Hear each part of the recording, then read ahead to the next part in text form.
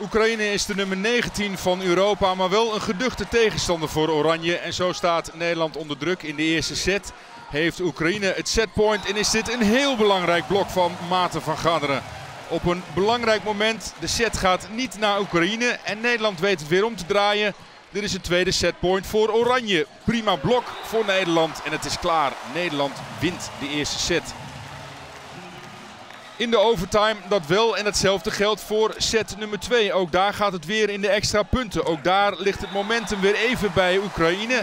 Maar weet Nederland dat weer prima om te draaien in die belangrijke slotfase van de set. Setpoint voor Nederland dan. Een keiharde service. De beslissing voor Nimir Abdelaziz. Oranje wint ook deze set in overtime.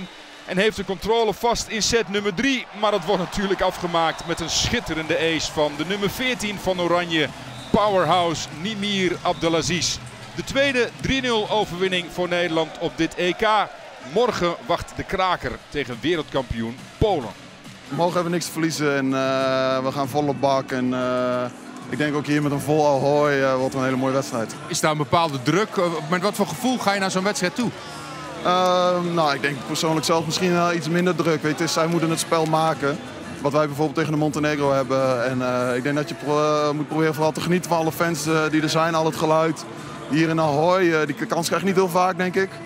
Dus van genieten, kijken of je dat kan gebruiken in je spel en dan zien we wel waar het gaat eindigen.